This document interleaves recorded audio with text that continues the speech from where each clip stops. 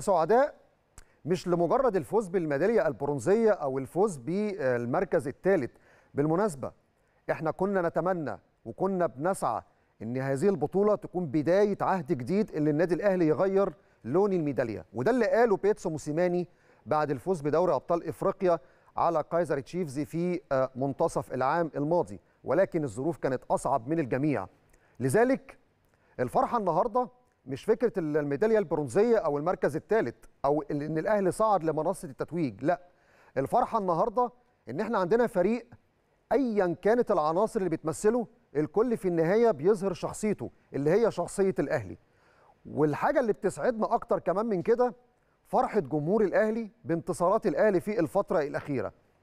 بالإضافة لده أنت بتتكلم على في أقل من 14 شهر اتنين دوري أبطال إفريقيا اتنين سوبر افريقي اتنين ميدالية برونزية وبتصعد على منصة التتويج وبتاخد التكريم الذي يليق بالأهلي وبمكانة الأهلي من قبل الاتحاد الدولي لكرة القدم فيفا اللي ما كانش يتخيل إن ممكن بطل إفريقيا رغم كل الصعوبات اللي واجهها إن هو يكون موجود على منصات التتويج في ملعب محمد بن زايد ملعب نادي الجزيرة اللي استضاف هذه البطولة على مدار أكثر من حوالي 10 أيام.